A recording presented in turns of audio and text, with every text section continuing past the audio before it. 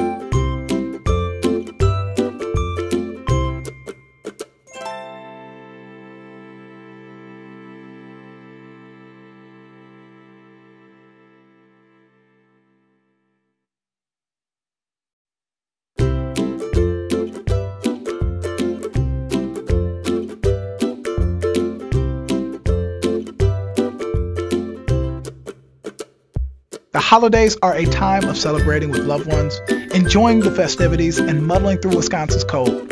But for many, this year has been